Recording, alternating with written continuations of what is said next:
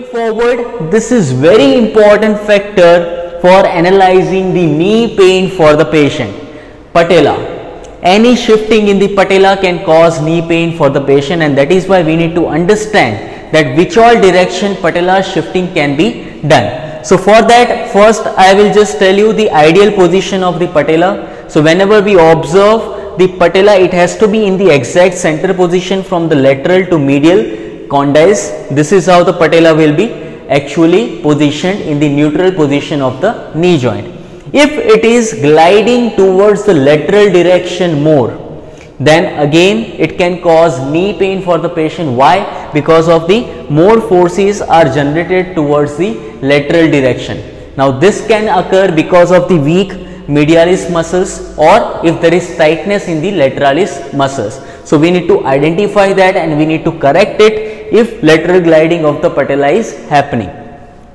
Next condition can be lateral tilting of patella. Now this kind of condition you can see if you are observing your patient's patient is sitting in high sitting position if it is present in both the knee joint.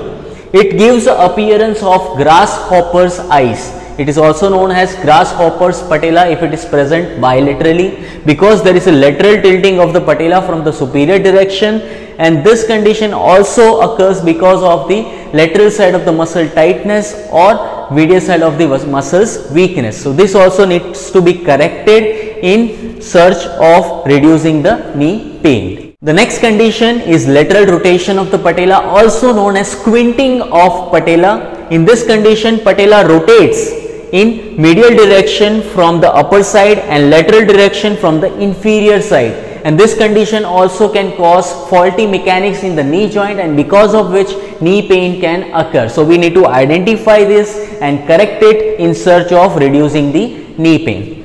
Apart from this, there are two other conditions that we normally see if we are observing the patella on the lateral direction. From the lateral direction, if we see, there can be patella baja. If patella is shifting in downward direction more and there can be patella alta if patella is shifting towards the upward direction more and this is the normal position where the patella exactly has to be.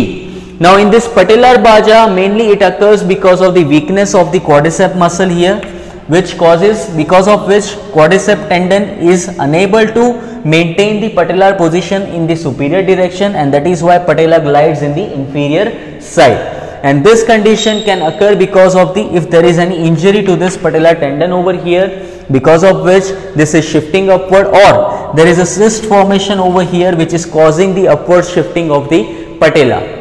Now this cyst can be formed because of any injuries near the articulating surface ligaments or the meniscus that we are going to find out in the next stage. But we need to remember that these are the abnormalities can be present in the patella which is patella baja if the patella is shifting downwards and patella alta if patella is shifting in the upward direction.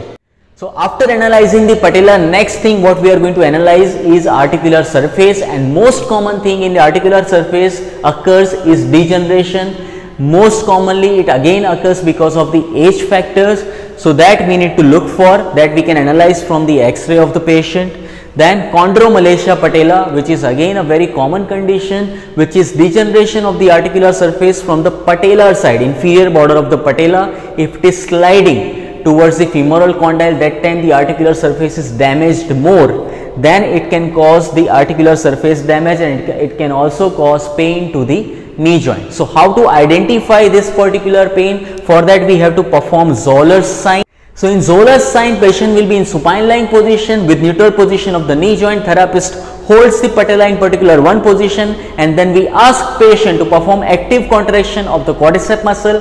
While performing this, if patient complains of pain increasing of the symptoms, that means the test is positive which suggests that patient is having chondromalacia patella. Again, chondromalacia patella is not age related condition so that we have to look for it in each and every age population if patient comes to us.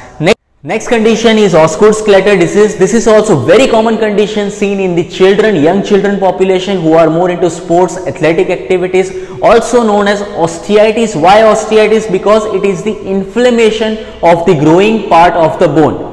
And this occurs mainly in the persons who have more of the jumping activities and because of which the attachment of the tibial plateau of the patellar tendon, it gets continuously stretched more and more. So, there will be extra bump formation just above the tibial plateau because of the repeated contractions of the patellar tendon and because of that inflammation patient will be having pain and other symptoms. So, that is how we can come to know about the Osgood Schlatter disease.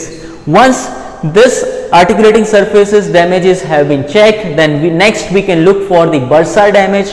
Bursa also there are two common conditions that we find out which is pre-patellar bursitis and fat pad syndrome. Pre-patellar bursitis is nothing but a bursitis, bursa inflammation just below the patella. Now this condition we can check with the help of bouncing patella test or tap test of the patella. In that again patient will be in supine lying position, you check and you palpate the patella of the patient and you just apply a tap. If a patella is bouncing or wobbling over the swelling present in the knee joint. That means the test is positive and we come to a conclusion that patellar bursitis is there pre-patellar bursitis. And in fat pad syndrome as you can see here on the anterior side of the knee joint if just below the patella we have extra formation of the fat pad it causes upward movement of the patella and because of which there is we can see that double bumpy appearance or it is also known as camel bump appearance of the knee joint that you if you are observing that means it is the presence of fat pad syndrome for the patient